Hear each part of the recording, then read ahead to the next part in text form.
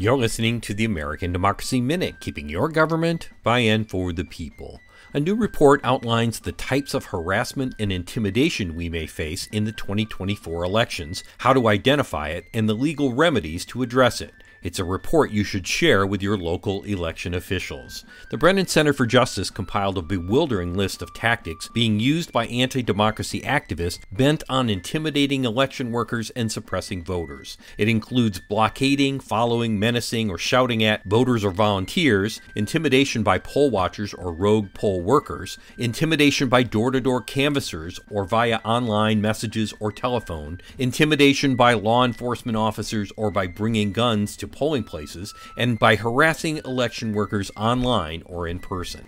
The report helps election officials identify these tactics by giving recent examples of each, such as the armed vigilantes in Arizona staking out ballot drop boxes, poll watchers who interfered with election operations using mass challenges to suppress black and brown voters, and door to door canvassers intimidating New York vote by mail voters last summer. Some intimidation is harder to identify, such as when the wearing of a firearm in the polling place becomes intimidation, or how the placement of police officers in or around a polling place can cross a line. We've linked to this important report for you to share with your local election officials from AmericanDemocracyMinute.org. I'm Brian Beihl.